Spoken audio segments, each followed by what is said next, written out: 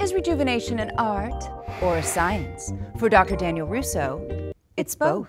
He's refined the art of facial rejuvenation over the last 20 years.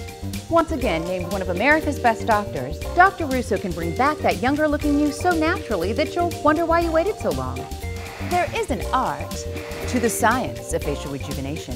And, when, when, the, two, come together, the results are beautiful. Dr. Daniel Rousso, one of the nation's premier facial plastic surgeons.